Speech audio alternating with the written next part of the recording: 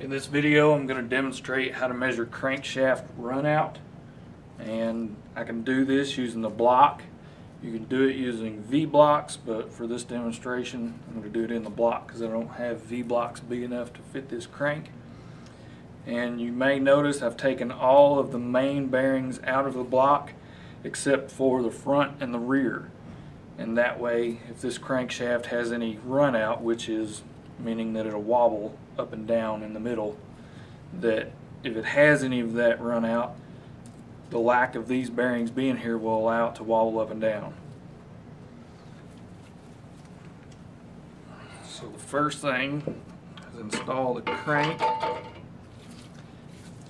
and what we're checking for is movement up and down on this center journal.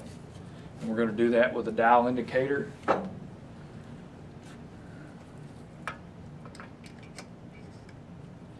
A magnetic based dial indicator. And I've set it up and on the dial you can either zero it or yeah you can zero the dial to get it set to zero and then spin the crankshaft and the spec on this engine is two thousandths of an inch. And the needle is barely moving at all. So this crankshaft has very little run out. Not enough that I can even measure it with this dial indicator. So that's less than two thousandths so that's good.